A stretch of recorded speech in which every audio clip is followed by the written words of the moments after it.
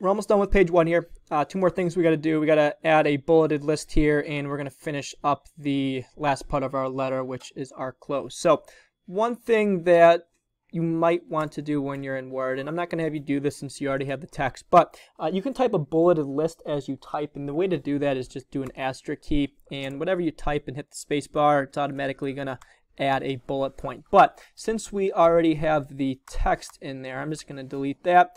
We're going to highlight our three rows, complete a housing down to reserve your orientation dates, and up in the paragraph group, we are going to create a bulleted list so those three items become a bullet point.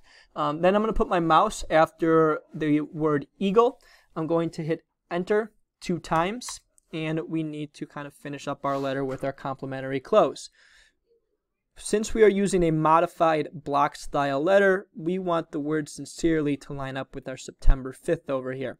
Now, when I hit the tab key, what you're going to notice is that it goes to that three and a half inch mark, that tab key that we did a couple videos ago. So we'll type in the word sincerely, followed by a comma.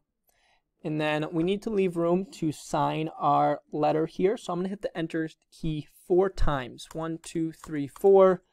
And hit the tab key and we're going to sign this Lucy R period song.